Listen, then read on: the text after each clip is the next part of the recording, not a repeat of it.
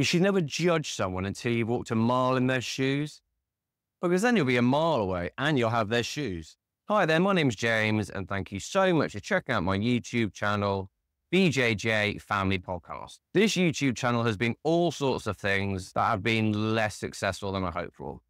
Those dad drops are awful. But the goal of this YouTube channel is the same as it was when I started it in July 2018. I've struggled with my mental health on and off since my teens, with OCD and depression, and I found that the creative outlet of managing a YouTube channel and a podcast has really helped me with my mental health. That said, the one thing that's probably helped me with my mental health more than anything is taking up Brazilian Jiu Jitsu.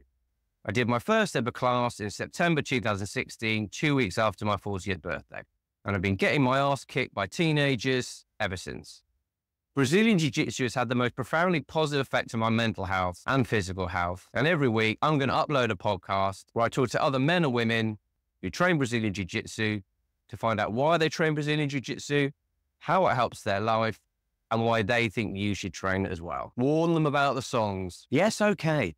There may also be the odd, silly parody song, and that they're out of tune it may be out of tune. And the other bit, there's a strong chance it would include a childish joke. Well done. If all that sounds like something you might be interested in, please do me a massive favor and hit subscribe.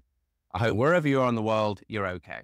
Brazilian Jiu-Jitsu, apparently they call it the gentle art.